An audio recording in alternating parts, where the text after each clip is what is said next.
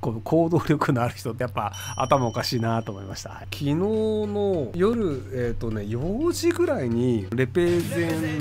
地球のなんか DJ 社長がパリに来るみたいな話になってでもともとなんかベルギーのトゥモローランドっていうところに行くって言っててああそうなんすかって言っててで夜かもしんないっすみたいなこと言われててあのベルギーとパリって別の国だよなと思ってたんだけど、まあ、多分あのそんなに気にしてない人なのかなと思ってで着きましたベルギーみたいなこと言われてあのベルギーのブリュッセルとパリって500キロぐらいあるんですよ距離差が。で車で行くと45時間かかるんですけど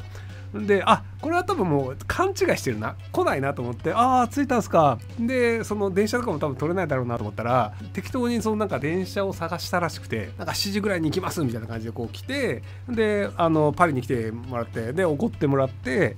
ついでにちょっと時間空いてたのでなんかうちの部屋寄っていただいてここで動画を撮影するみたいなことをしたんですけどでそれが終わって10分ぐらいであの深夜バスに乗ってベルギー行くわって言って帰っていってしまいました。はい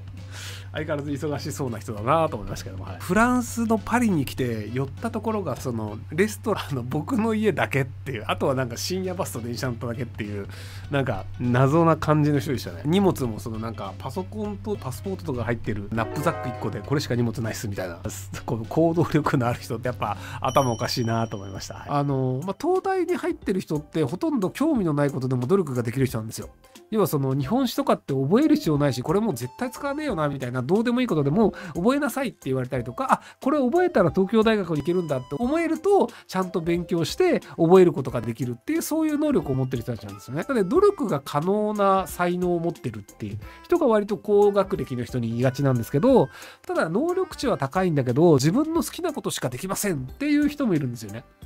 昨日うちに来たって話をした DJ 社長さんとかもいろんなことをやっててで今でも YouTube 登録者数が240万人とか言ってると思うんですけどじゃああの人が勉強しろって言われたら多分しないと思うんですよ。でもあの人タイ語とインドネシア語と英語とで外国語をある程度喋れるんですよね。必要だと思ったからも覚えちゃったんだと思うんですけどっていうのってその努力というのはやらないんだけどでも必要だと思ったらあのこれやりたいからやるわみたいなのでだからタイ語読めるらしいんですよね。あの意味は分かんないけど読めるみたいな、まあ、僕もあのロシア語あの読めはできるんですよ。意味は分かんないんですけど、まあ、なんかそういう感じのがあったりするので必要だと思った時に努力ができるようなその訓練鍛錬は必要だと思うんですけどただ一生努力をしないといけないのかっていうとそうでもなくて努力から逃げ続けても全然幸せには暮らせるとは思います。はい。